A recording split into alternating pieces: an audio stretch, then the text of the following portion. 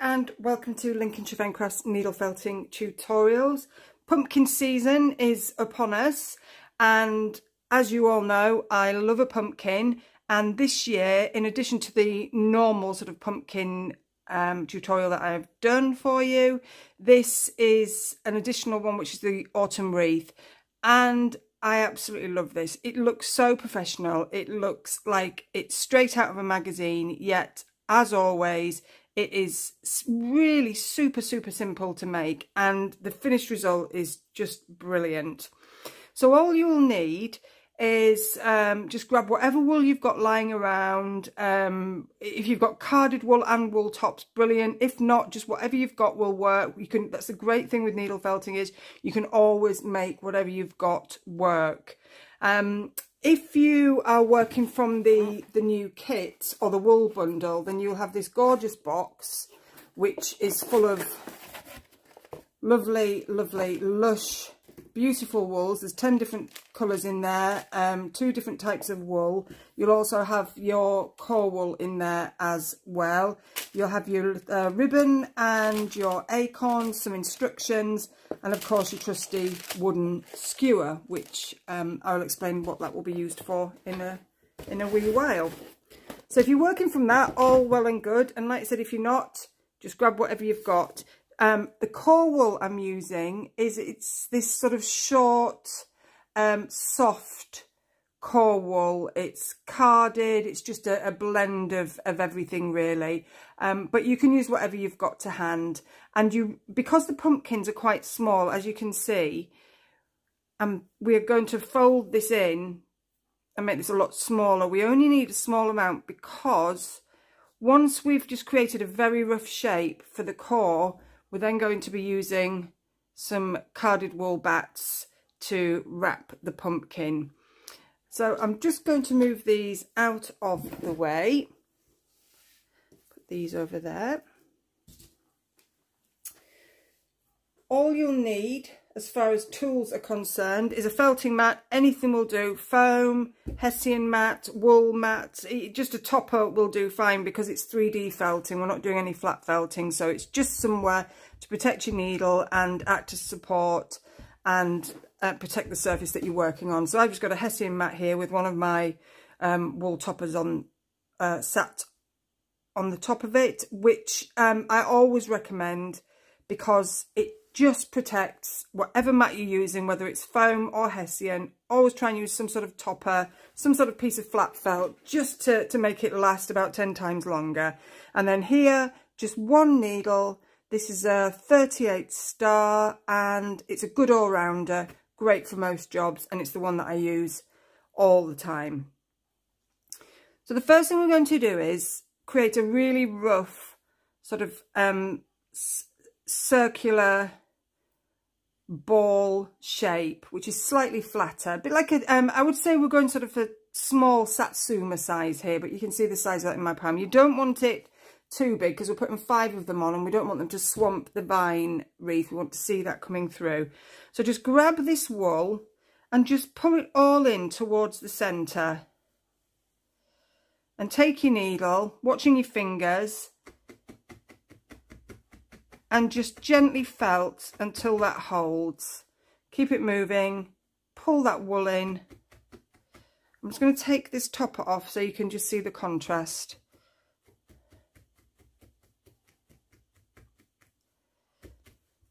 And this is ever so quickly done because it really hardly needs any felting. You're just felting with the needle just so it holds its shape. Because it's going to be covered up so don't worry about any rough areas any lumps and bumps. It will all be covered.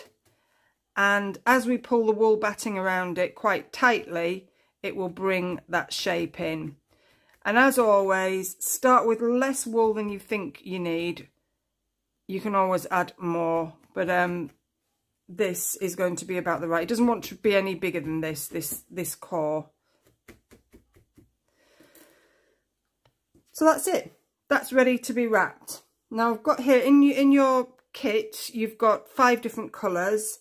Um, and as you can see here, I've used just one colour for this one. But I just wanted to show you how to blend wool bats because they're in layers.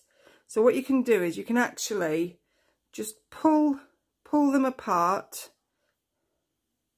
So you've got a much thinner layer. And can you see how you can actually see through some of that? And you can stretch it out even further to make that even more visible. And we don't need a lot so I'm just going to pull that off. And then do the same with a contrasting colour. So this is like a, a sort of burnt orange. It's really beautiful. Um, burnt sort of orange red. If you've done the fire and ice pumpkin if you look on the pumpkin playlist you will see the tutorial for the fire and ice pumpkin and I've used this which is is gorgeous stuff. And I will pop a link to the playlist below for you as well as well as the um the kit um if you fancy popping across and having a look at the website if you haven't got any of the kit or the um the tools. So can you see the difference? How that beautiful red sort of burnt orange is coming through and I'm thinking we'll actually wrap, we'll have that underneath and then we'll have the orange on top. So what we've got is we've got different colours coming through and I'm just going to pull that apart even more just so we've got more of the underneath visible. There we go and I love that effect. I think that's really, really effective. And you can um, you can do that with all of them or, or, keep them, you know, just a nice plain colour. But if you just want to do something different, and that's a great way to, to blend your wool bats. So I'm going to turn it that way because we're going to wrap over like so. And here's our little piece of core pumpkin. And I've got quite a lot going on here. So I'm just going to pull some more off and the flat side will have, which will be the top of your pumpkin. So what we're going to do here is, just going to pull in that corner and I'm just going to gently felt that on. And try and do all, most of your felt work um, at the base of the pumpkin. Um, it doesn't really matter with the batting because um, it's, it's it doesn't show needle marks at all really when you're working like this. So don't worry about that. I've got quite a lot going on here. So I'm just going to pull that over again. So you're just going around and pulling in these edges again. And because it's carded it pulls away really easy because the fibers are really short compared to say the the wool top. But if you want to use wool top, absolutely fine. Do the core exactly the same and then you can wrap the wool top around the same way. But what you can do is actually just do probably a crisscross of layers or blend it like so. And then you can actually wrap that around that way. So there's always, it doesn't matter what wool you've got, you can make it work. But I, I really do like the um, carded bats for this because it's just um, makes it easier to work with and easier to get that, that neater finish. You just spend less time doing it. Yeah, I'm just going to pop my topper back on. So look at that, glorious, glorious colour. And you see that sort of burnt orange red coming through that lighter orange where we pulled those fibres apart and it's it's absolutely gorgeous. So now what I'm going to do is we need to create our pumpkin lines which also creates that really nice um, easily recognizable pumpkin shape. So I'm just looking I think I'm going to go with this rust wool top. Now this is where wool top is really useful. You take the thinnest piece. Again, if you're working from the box, you'll have five colours in there. So you just decide whatever you want to do. You can twizzle the, the middle if you want, which will actually mat it together a little bit, but it doesn't really matter. just lay that on the top of your pumpkin and just the best way to do it is hold just hold it down like that. Aim for the middle and just a few pokes. You see that? Until that holds. Then flip it over and bring it round and pull it in slightly so you want it quite tight. And that's why wool tops work really well because you've got long lengths and they don't break. You can do it with carded wool of course but this just makes it the job a bit easier as I said the fibers are long and you can pull it in quite tightly without without it breaking but if if if you are using carded wool and and it does break then all you need to do is you can just create these these little indents by just actually felting um, along the lines. But with the wool top, there's no need for that. It just naturally pulls that in. So just leave any loose bits. And then we go back. We take another piece. Again, across the centre. Poke that down into the middle. pull that around. Can you see how that's pulling that shape in? And the other side. Pulling that shape in.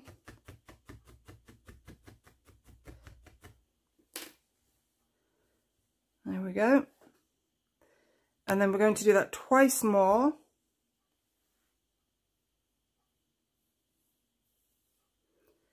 very thin layers. I mean, really thin.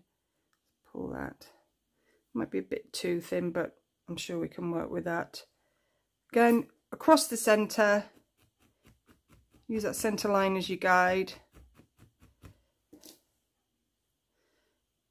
And we're not going to add any stalks to these because I want it to keep it quite clean. Um, not cluttered because, you know, there's quite a few bits going on on the actual wreath. But if you want to see how to make the stalks and the leaves, just have a look at my traditional pumpkin tutorial and after you've actually created the pumpkin on that video then I show you how to make the leaves and the stalks which are also really really easy and last piece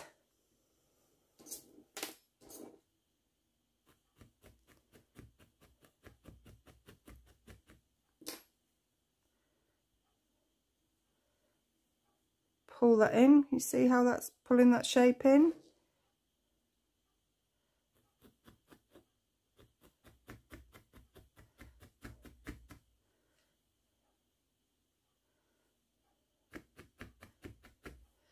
And then you can just, I mean, you can trim those off if you want, but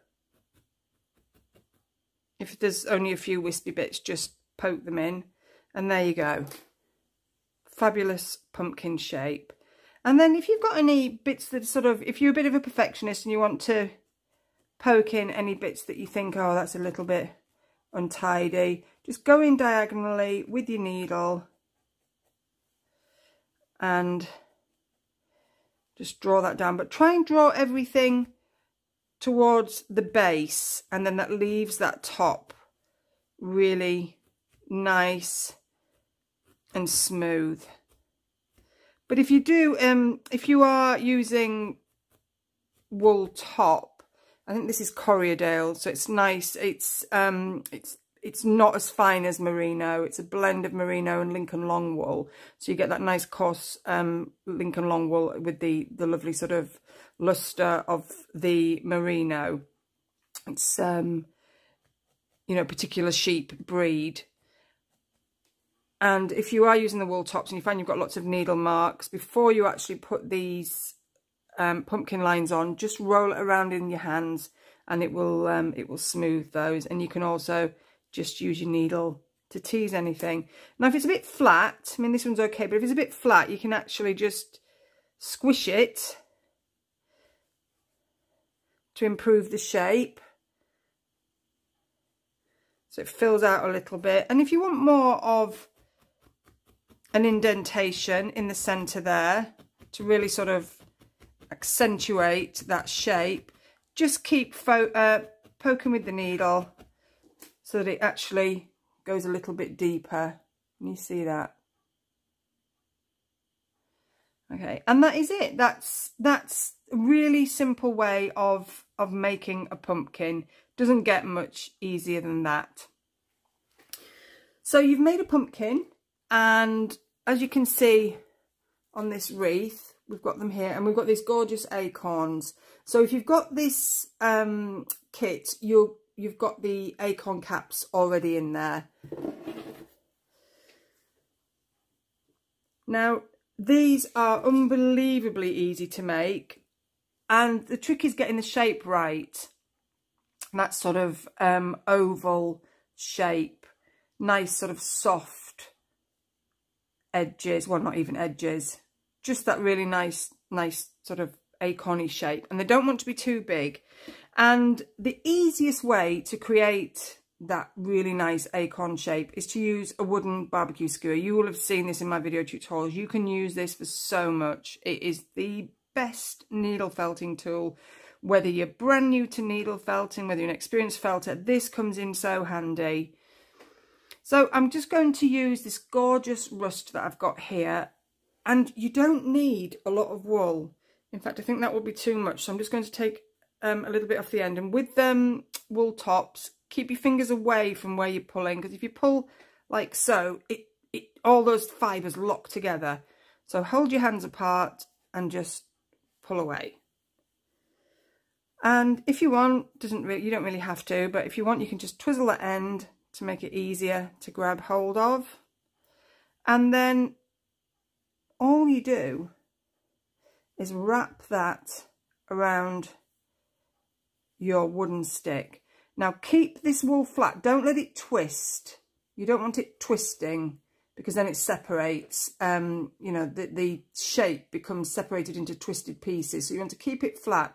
And then what you can do is just let that wool run between your fingers. And have you noticed I haven't even used the felting needle yet? So keep it nice and tight and just twizzle it a little way round. And once you get about halfway through, you can just use your needle just a few times to secure it. And keep your thumb and your finger there at the base so that when you're turning it, it doesn't escape and run away and get really long. You're aiming for an acorn shape. What you don't want to end up with is, um, you know, sort of a, a worm-like shape. Can you see that? That is it. So now we're going to secure it. So that's why I've gone on to the, the wool tops for the acorns because you can pull it quite tight again without the um, the wool breaking away as it, as it, it may do if you're using carded wool. However, this is carded wool, this is carded wool. It's still great for making these, but if you just, just for speed, I'm using the wool tops. And it really is horses for courses you know it's personal preference. If you really want to learn about all the different types of wools if you pop over to my blog i've got an ultimate guide to needle felting. It's a great blog. And there is actually if you look on the menu the drop down menu you'll see there is a, a, a guide to to wool there's a guide to felting needles there's free tutorials uh, beginners, sort of advanced beginners, intermediate tutorials. There's everything you need on there. Loads and loads of free resources to get you going and to help you improve your existing needle felting skills. Really, really good blog. So feel free to, to go over and I'll pop the link down below. So can you see how I am shaping this? I'm just using the needle at a diagonal angle, keeping that shape moving so you don't flatten any areas. So you can do an acorn in easily in three minutes and then just slide that off and that is it. That is your acorn done. And then I have on here, so on here I've got one, two, three, four, I've got five pumpkins, two, four, six, eight, nine, ten, eleven, and 11 acorns. And three of the acorn caps that you can see there, I've stuck those together with, um, I use a glue gun. I don't mess about. Um, I like to just get things done quickly. So a glue gun is the best thing. But if you've just got fabric glue, then you can do that as well. Just pop some fabric glue inside the acorn cap and just let it go tacky for, for five, ten minutes. And then you're not sitting there, you know, holding the acorn. So that's absolutely fine as well. So you've got your acorns, you've got your pumpkins, you've got your wreath. You can use whatever you've got. That actually is, is in your kit. If you've ordered the kit, you will have that. And then I think it probably took me longest to find out how I wanted to style it. And really, it's, it's simple, as always, is the best. Pumpkins at the top, so the top third, at slightly different angles. So what I did was I popped some glue on the um, on the actual wreath itself, stuck the acorn, uh, the pumpkin down, started with this centre one, moved out, and then just stuck the acorns around it as well. Tied a little bit of Hessian ribbon on, stuck that again on with a glue gun. If you don't have any glue, you could actually sew these on um, with this wreath because you can actually pop your needle through the vine leaves. So that, that would work as well. You don't actually need glue. You can sew everything on. So don't worry if you haven't got the glue. It doesn't matter. And I think that is about it. Um, 21, 22 minutes that took with all my waffling in between. So very little time at all. And as you can see, I think it took me about an hour and a half to make the entire thing. So I'll pop a materials list below and all the details and the links so that you can go off and find other video tutorials and the materials and kits if you want them. So um, have a great autumn or fall and enjoy needle felting and join me again very soon.